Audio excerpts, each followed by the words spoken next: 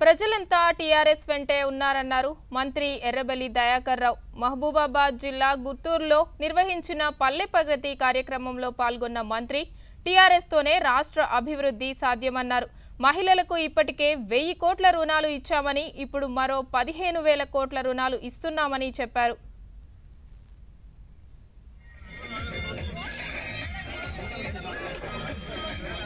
ఇంతమంది ఆరు వందల డెబ్బై ఒక్క మద్దతు అయితే నేను కూడా గుర్తు రైతునే. నాకు కూడా నాకు కూడా వస్తాను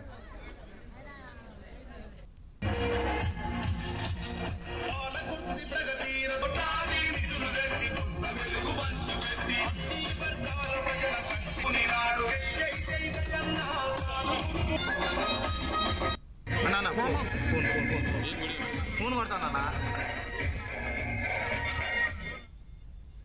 మరోవైపు జనగామ జిల్లా మల్లంపల్లి గ్రామంలో సద్గురు సేవ సత్సంగ మందిరం కమ్యూనిటీ హాల్ని ప్రారంభించారు మంత్రి ఎర్రబెల్లి దయాకర్ రావు.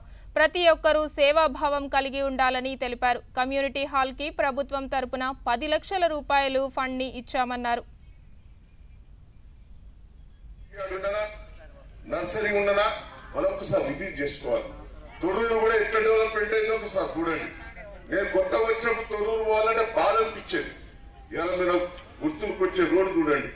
ఆ తొర్రూరు సెంటర్ చూడండి. నాకు ఫోన్ చేస్తాను ఆ కార్లో పెట్టాడు ఇదావరకు నేను ఐదేళ్ళ కింద ఫోన్ చేసేది. ఏందా మీ తొర్రూరుకి వస్తే మొత్తం బొందలు ఉన్నాయి అధ్వానంగా ఉండేది అనుకో ఇప్పుడు ఫోన్ చేస్తా అంటే పోయేటోడు కార్ల. "బా, బాగున్నదా అంటారు. అంటే ఇలా కేసీఆర్ నాయకత్వం మనం బాగుపడ్డాం. ఇలా మహిళలు కూడా ఆలోచించాలి. మహిళలు నాకు బాగా ఇరక మహిళల గురించి. అప్పుడు డాక్టర్ మహిళలను చేసేది రూపాయి రూపాయి.